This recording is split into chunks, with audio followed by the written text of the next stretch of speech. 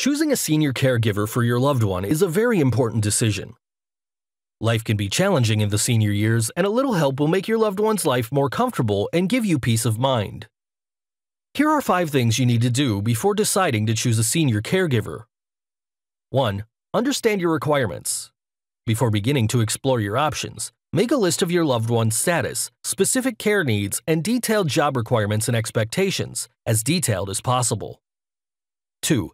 Get recommendations. It's a good idea to seek recommendations from your friends, neighbors, or family doctor.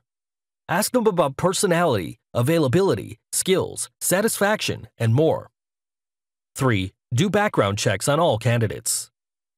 When you have a list of potential candidates, do a background check including credentials, credit report, residency status, and criminal records.